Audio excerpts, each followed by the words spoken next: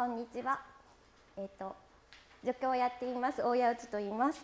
えー、皆さんが思っている100万倍ぐらい緊張しているので途中で噛むかもしれませんけれども、えご愛嬌と思って笑って許してやってください。えっ、と私は、えー、情報数学、数理科学分野の紹介を、え行いたいと思います。え、この分野ですけれどもどんな分野かと言いますと計算機などの応用を視野に入れた比較的近代になって発展した数学の分野の総称を、え、表しています。え、この分野ですがさらに細かく分けますと、えこちらの3分野に分かれています。えまず1つ目数学を扱う時に用いる、え論理自体を研究対象とした数理論理学え2つ目。データからそれらが持つ情報を解析する、え数理統計学。えそして3つ目。コンピューター上で新しい数学を展開応用する、え計算機数学。こちらの3つに分かれています。えさらにこの分野をそれぞれ。もうちょっと詳しく説明しますと。えまず数理論理学はえ証明とは何か。計算とは何か。という問題を考え証明や計算の構造を数学的に分析する分野となっています。ちょっと哲学チックですね。えー、中でも、えー、こちらの学校に在籍している先生は、えー、特にモデル理論や集合論といったものを、えー、扱われている方が多いです。えー、そして2つ目の数理統計学ですが、えー、聞いたことはあると思うんですけれどもさまざまなデータから現象の法則などの有用な情報を取り出すための方法論を、えー、研究する分野となっています。え例えば街頭でされているアンケート調査ですとか新しい薬ができた時に、え効く効かないっていうのを調査する、え医薬品の認可ですとかあとは、え最近よく使われているのは DNA データ、え、とかあとはそうですね株価とかの金融データ等の統計解析を行うそんな、えー、と方法を研究する分野となっています。そして3つ目の計算機数学ですが、え計算機による実際の計算に結びついた理論。緊張してますね、えシステム応用を数学の立場から研究するという分野になっています、え特に計算代数応用代数組み合わせゲーム理論。えそして検論の立場からえ理論計算機科学や微分幾何学の研究を行うような分野となっています。えー私の専門外なので、えっと、詳しく知りたいという方はあの懇談会の時に専門の院生さんたくさん来ますので あの詳しく聞いてあげ聞いてくださいね、えっと、私難しすぎてちょっと説明できませんので。はい、えそしてえこちらの分野にえ所属していらっしゃる教員の先生方がこちらのえ10名の先生になります。えー、そこでこちらの10名の先生から皆さんにメッセージをいただいてきましたので紹介したいと思います。どんなメッセージかと言いますと、えー、各先生方が主にどんな研究をされているかという研究内容、えー、2つ目としてこんな人に研究室来てほしいなとか、えこの分野向いてるよっていうような、えそんなこと、えそして3つ目は、え入学するまでにこれだけは勉強しておいてくださいねっていう、えそんな予備知識などの情報。をいただいてます。えさらに全員じゃないんですけど中にはおまけの情報もいただいている先生いますので順番に紹介していきたいと思います。えまず1人目です。え数数理論理学分野の坪井先生です。え坪井先生ですが、えモデル理論、え数学的構造の一般論の研究を、え主に研究されています。え詳しくは、数学域のホームページ上の、教員一覧の方にた、え詳しく載っているということなのでそちらを参照してください。えそしてこんな人に来てほしいな向いてるよっていうのは、えー、すごいですね頭のいい人頭のいい人に来てほしいでなんでですかっていうと、え、多分努力だけでは越えられない壁があると思うから頭がいい人が来てほしいなっていうふうにおっしゃってました。えそして入学までに勉強しておいてほしいことですけれども、え素朴集合論の知識数理論理学の基礎、えこれらについては、えちゃんとマスターしておいてほしいということでした。え坪井先生あの自転車が大好きな方で あの、はい、いつもこうそうなんですあのすごいサイクリングがあのお好きな先生なのでサイクリング好きの方はお話が合うんじゃないかと私は思います。はい、えそして2人目数理論理学の塩谷先生です。え塩谷先生が行われてます研究内容ですが、え合理的集合論え無限の持つさまざまな個性を探索するといったような研究を行っていらっしゃいます。えー、塩谷先生の、えー、紹介記事としまして数学セミナー2009年4月号に「ゲーテルの夢」という、えー、紹介記事が載っていらっしゃるそうなので興味がある方はぜひ中央図書館の方など行って調べていただけたらと思います。えそしてこんな人に来てほしいですっていうことですけれども計算問題よりも証明問題が大好きだという人に来てほしいということです。証明好きだっていう方います？計算よりも証明きれいに書けた時にすっきり感があるっていう方は塩谷先生のところにぜひ会いに行ってみてください。えそして入学までに勉強しておいてほしいことですが集合に関する、えー、基礎的知識だけはちゃんとマスターしておいてほしいということでした。さらに塩谷先生から一つおまけの情報をいただいています。えー、照明などに詰まってもう嫌だもう嫌だ頭を全部リセットしたいっていう時には、えー、体育専門学群の50メートル屋内プールが待っています。ということです。なんか週に1回あの開放されている日があるそうで修也先生もあの忘れたい時には泳ぎに行ってらっしゃるそうでおすすめだとおっしゃってました。泳げない方もどうもなんかウォーキングするコースも1レーンあるそうなので泳げなくても大丈夫だっておっしゃってましたのでぜひご利用になってみてくださいね。えー、そして次ですね、え次数理統計学の分野に入りたいと思います。えまず最初に青島先生です。青島先生ですが、え高次元統計解析、主に統計画学、全近理論、ベイズ推測、えなどを、え研究の内容とされています。えこちらも数学域のホームページの方に、え詳しい紹介が載ってますので、そちらの方を参照してくださいということです。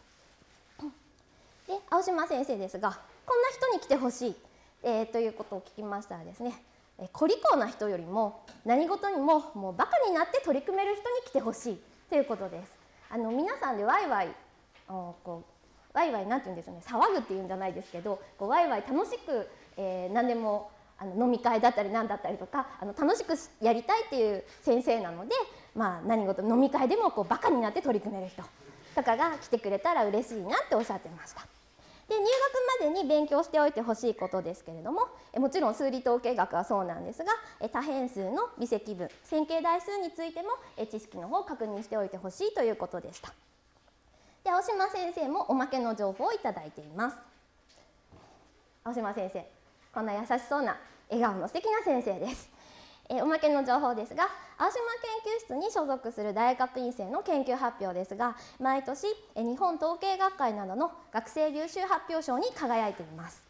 確かに青島県の皆さんの発表は上手だなと私もいつも聞いてて思いますえそして、えー、数学域のホームページの方に、えー、筑波数学通信にインタビューが載っています。えこれはあの昨年度から青島先生と、えっと、この後に紹介します矢田先生が共同研究されていることがありましてえそれで数々の賞を受賞されていましてえその賞にえー、取られた時のインタビューなどが載っていますので、えー、ぜひ参照してみてください。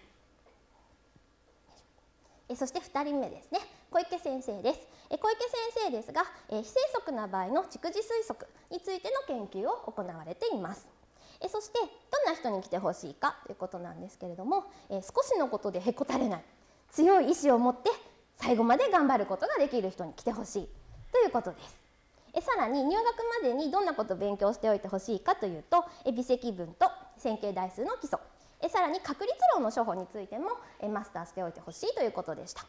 え小池先生あのマラソンというか走ることがとても大好きな先生なので、えー、ランニング大好きな人いますか？一緒に走られてはいかがでしょうか？かなり速いと思いますけどね。はい。ついていくのが大変かもしれない。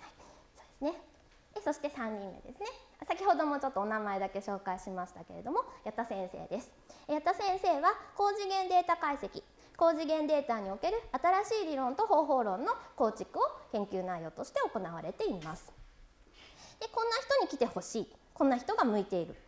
何事も逃げ出さずやっぱり最後までやりきる人に来てほしい。向いてるんじゃないかとおっしゃってました。で入学までに勉強しておいてほしいことですけれども微積分線形代数と数理統計学の基礎はちゃんとマスターしておいた方がいいのではないかということでした。えそして4人目。ここサクッといきたいんですけど私です。えーと、私は、えー、統計的推測理論主に非生息な場合の推測の評価というものを研究内容として行っています。でこんな人が向いてるんじゃないかっていうのも似てますね。結果が出なくて投げ出したくなっても1回は投げ出してもいいです。投げ出してもいいですよ。投げ出してもいいんだけどやっぱり頑張ろうっていうふうに最後まで粘り強く取り組める人が向いてると思います。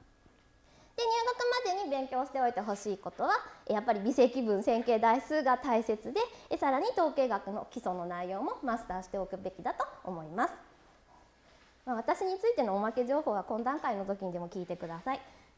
はい、えそして3つ目の分野ですね。計算機数学の先生方を紹介します。まず田島先生です。え田島先生はえこの午後の会の一番最初に全体の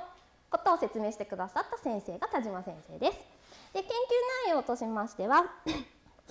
すみません。えっ、ー、と複素解析的得意点とホモロミー D 化群の計算代数、えー、数式処理アルゴリズムの研究開発を行われています。えそして入門書としまして D 化群と計算数学という本を挙げてくださいましたので興味がある方はこちらの本参照してみてください。えそしてこんな人に来てほしいという方ですけれども、え、数学の美しさを深く味わいたい人。数学って素敵だなって思いたい方ですね。そして研究がもう本当に大好きだっていう人には、えー、僕の研究室に来てほしいということですのでぜひぜひ訪問してみてください。そして入学までに勉強しておいてほしいことですけれども複素解析や微分方程式の部分をしっかりと勉強しておいてほしいということでした。で田島先生からもおまけの情報をいただいています、えー、田島先生からは、え筑波大学周辺でお気に入りの場所はありますか？ということを伺ったところ教えていただきました。どうもですねサボテンとカエルが好きだということで理由はわからないそうなんですね。なんか前世はサボテンがカエルだったんじゃないかっていうぐらいサボテンとカエルが好きだそうです。で、まあ、それが好きなことがあってなのかわからないんですけどあの近くに植物園がありましてこちらの植物園確かの天皇皇后両陛下も好きな場所なんですけれどもその植物園が素敵ですよっていうことをおっしゃってました。えさらに学内で言いますと図書館や図書室の学問的雰囲気がお気に入りだとおっしゃってました。時間があったら中央図書館など行ってみてくださいね。そして2人目の先生ですね。え酒井先生です。え酒井先生はえ理論計算機科学数学の問題を計算機などを利用して解くことを研究内容とされています。でこんな人に来てほしいというのは数学も計算機も大好きな人。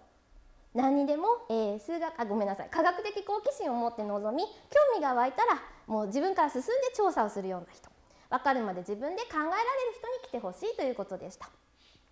で入学までにマスターしておいてほしいことっていうのももう勉強の内容じゃなくて本当にもう何でも好奇心を持って、えー、何でもこう興味を持ったら自分で、えー、考えてみてくださいねっていうことをしてほしいということでした。っ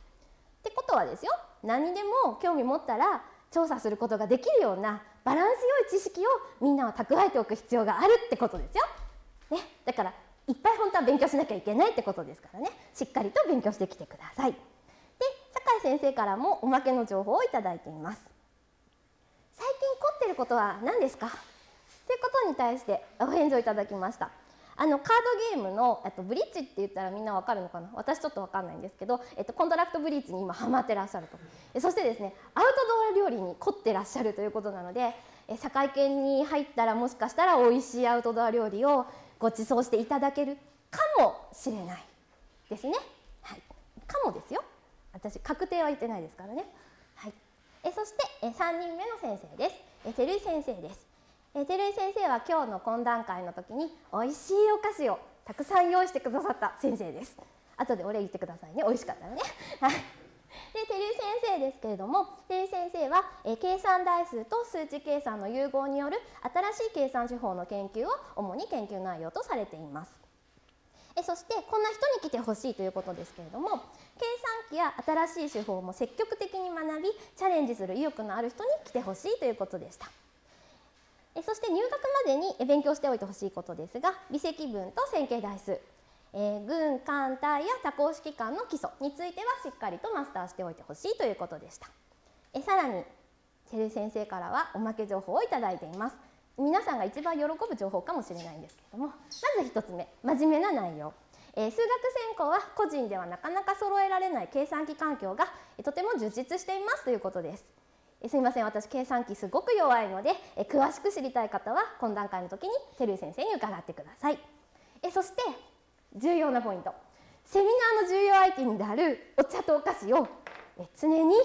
お部屋にたくさん常備しているということです。え写真もコーヒーメーカーの写真いただいたんですけれどもこうセミナーがあるごとにこのコーヒーメーカーで入れた美味しいコーヒーを飲み放題ですか？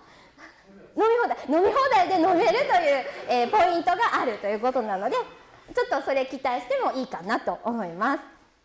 えー、そして最後ですね、えー、最後に西村先生です。えー、西村先生ですが、えー、ブロタンディークさんが大数幾何学で起こした革命の微分幾何学版を研究されています。すごいですね。そしてどんな人に来てほしいかですけれども、えー、元気で数学的思考力のある人に来てほしいということでした。えそして入学までに勉強しておいてほしいことですがえ微積分と線形代数をしっかりマスターしておいてほしいということなのでしっかり勉強しておいてください。長くなってます。ちょっと巻きで。えそして大学院で、え情報数学に関する授業というものはえこちらに挙げてます9つのものがありましてあ基礎科目っていうのはこう本当に基礎なえーと、違う分野の方でもとっても大丈夫っていうような内容になっています。えそして専門科目はそれぞれ論理学と、え統計学と、えそれから計算機数学でそれぞれ1つ、え計算機数学2つですねえ4つの授業がありまして一番初の特別研究はこれあの皆さんがよく知ってるゼミのことです。セミナーのことですね。はいえー、さらに、えーと、と前期課程修了者の進路ですがこれ過去3年間です。えー、まず論理学は企業に1名えー、後期課程に進学している方は、えー、4名ですね、えー、これ以外にちょっと当てはまらない方が1名いらっしゃいます、えー、さらに、えー、統計学の方は企業に勤められた方が5名、えー、後期課程に進学された方が3名います、えー、計算機数学ですがえ少ないのって思わないでくださいね。たまたま3年間この3年間だけ少なかったというだけなので誤解しないでいただきたいんですけれどもえ企業に勤められた方が2名。公務員になられた方が1名いらっしゃいます。最後ですね。でこの懇談会えーと、この説明会ですね。説明会終わった後には、えー、各分野から、えー、大学院生の方がいらしてくださいますので皆さんどんどん元気にたくさん質問してあげてください。ありがとうございました。